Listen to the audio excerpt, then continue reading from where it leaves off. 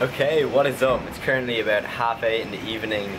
We are getting a bus to Malaysia from Singapore, which will take us about five to six hours, and we're getting that in just a couple hours. I'm going to show you what I'm bringing because we're going for about three to four days. It's going to be super cool, and I'm excited to go. Yeah!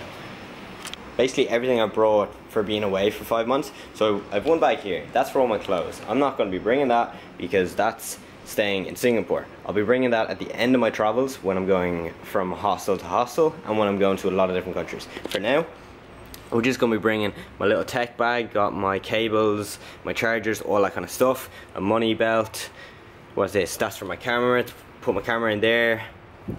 Here we got my little, um, guess you call it a bum bag or a fanny pack, keep my phone, my camera, all that kind of stuff. Got my little Joby GorillaPod, got my headphones, got my diary, glasses, sunglasses, hat, yes. Bag here, got my rain jacket, got a few little bits of clothes, got some food in there ready to go, got some oats, got some fruit, got some nuts, got some seeds, ready to go. I'm going with Morgan and Rachel, the two people I'm staying with in Singapore. And there's another group of people we know who are international students and they went over early this morning so we're going to meet them over there.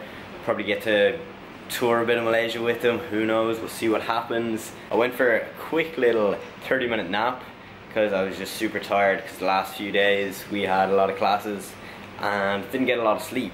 So got a quick half an hour nap, gonna sleep on the bus and yeah, see you in Malaysia.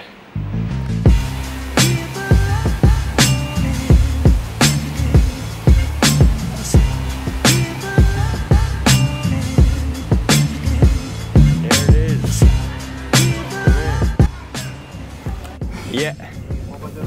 Unsure.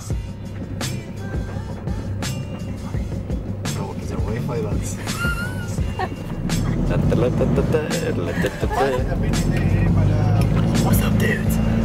Right, give you a little lowdown. We paid 10 euro for a bus from Singapore to Malaysia, so that's about six, seven hour journey. And we, it was meant to be a bus, so we like pick seats, everything like that. We get on, and it's like a little van, but it's yeah, we're gonna have a nice time, guys. It's nice and it's a real cultural experience. You know what I mean? Yeah. Look, it's chewing gum, Morgan. Morgan, it's chewing gum. Whoa!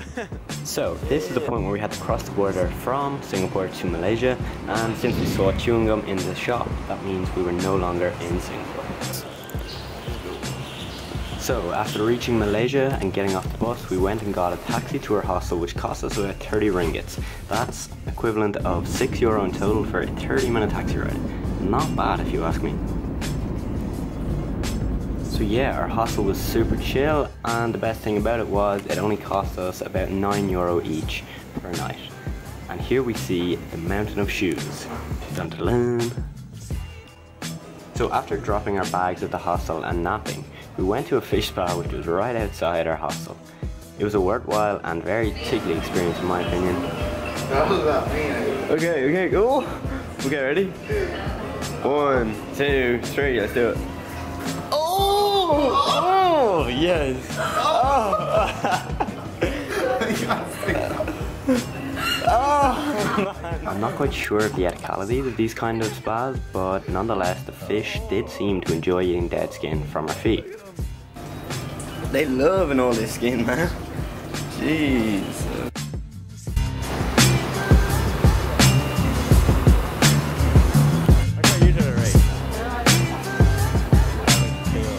So we spent that evening exploring the local area which included many street markets,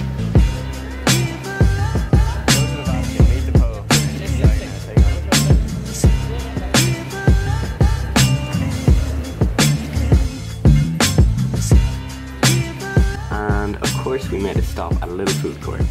Morgan critiqued the here and I got a big plate of veggies and rice. Oh yeah.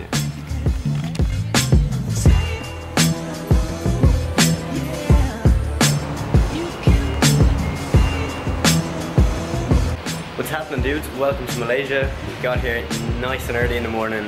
Um, we got a bus which took us maybe like six, seven hours to get here. And it was all good though, not too bad. Got a couple hours sleep, got to hostel, slept here as well, and did a little bit of exploring for the day. So yeah, it's gonna be a fun few days. keep tuned, man. Here's some of the temples we saw while in Kuala Lumpur, both of which had amazing architecture and decorations.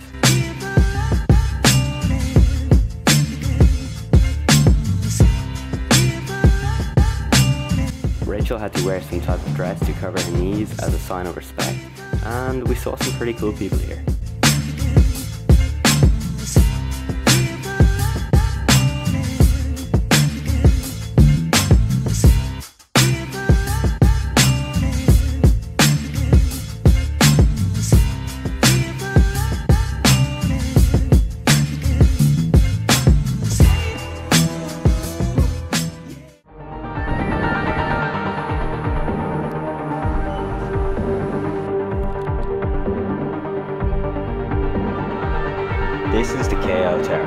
Saw the most amazing views of the city and stood on a glass box hundreds of meters above the ground.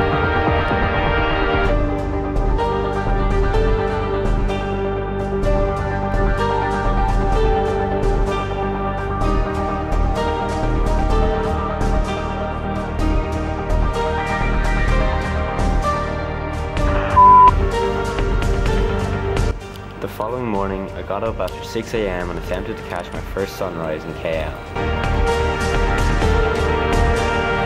Didn't really work out, but I certainly learned a lot from it. I also had a pretty good conversation with my driver.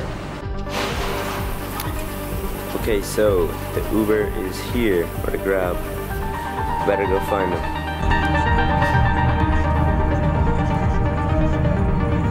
Today is first or I know, got here on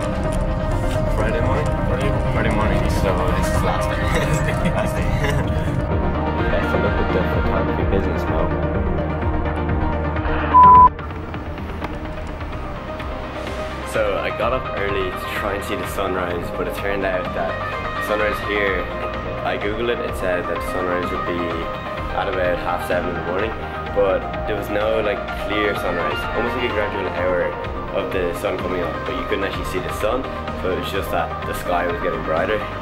Obviously I was looking for the full effect of like the sun just popping out of nowhere. Didn't happen, but it's okay. I didn't really plan the place I was going to, so I googled like places to watch sunrise, and this place was rated as like one of the best, but it was very unknown and very hard to get to. So I'll definitely plan it more next time. Yeah.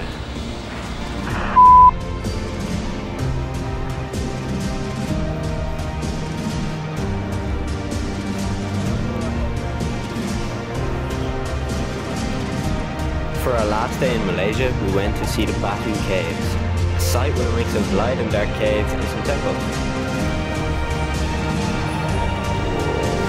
Even spookier on video.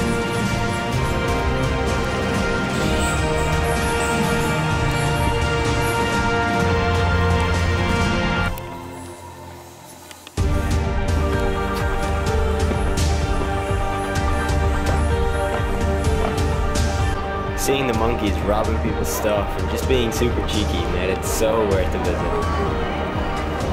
I'm yours. So this concludes our trip to Kuala Lumpur in Malaysia. We were able to get a bus to and from Kuala Lumpur from Singapore for only 20 euros and we stayed in a hostel for only 7 euro a night. This was our first trip since arriving in Singapore and it was certainly one to remember.